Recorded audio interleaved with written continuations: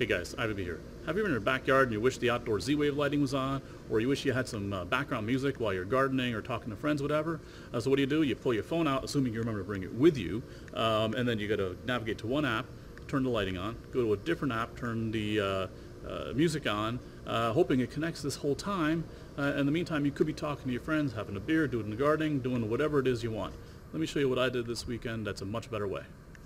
So here's my back backyard. What I decide to do? I put in a bank of light switches right here, and each one of these things can be set up to do a custom set of tasks programmable via the computer. How? Well, let me first walk you through the wiring.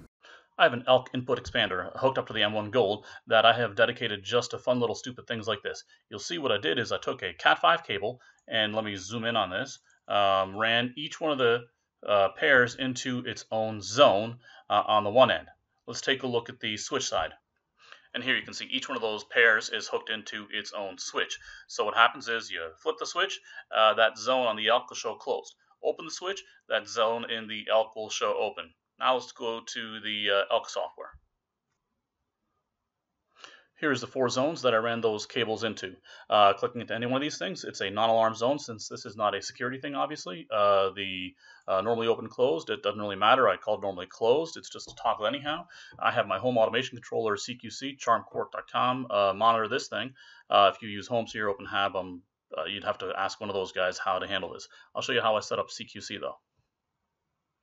And step one in CQC is give everything an English name, because seriously, who's going to want to remember 91, 92, etc. So you go in here, you type in uh, whatever you want. I actually went ahead and did that already. And uh, you, now you have a pretty little name. And then you can see here, this is the actual live value. Uh, I guess I left those things in the off position, which is, it's irrelevant since this is a, a toggle. But this is what the event manager, CQC's event manager will monitor. Let's go take a look at that. All right, I actually decided to delete my triggered event, so I will build it for you right now and can see how easy this is. Uh, so I go in here and I click in a new file. I'm going to say backyard lights. And then clicking into that, I can even make it a longer, you know, longer title for backyard lights. And the event I'm going to be looking for is a field change um, for, uh, what field is it now? It's the ELK. And I'm going to pause this for one sec so you don't see anything sensitive. And you can see here, I just scroll down to the field that we uh, just gave that name, which is the backyard light, uh, light status. And now let's go click edit action. And this will be an if then else because uh, if it's on, I'm going to turn it off. And if it's off, I'm going to turn it on. So what is that I'm going to do? I am going to take a look at, insert in a field. The backyard lighting is, oh God, what did I call that driver? Lighting, right?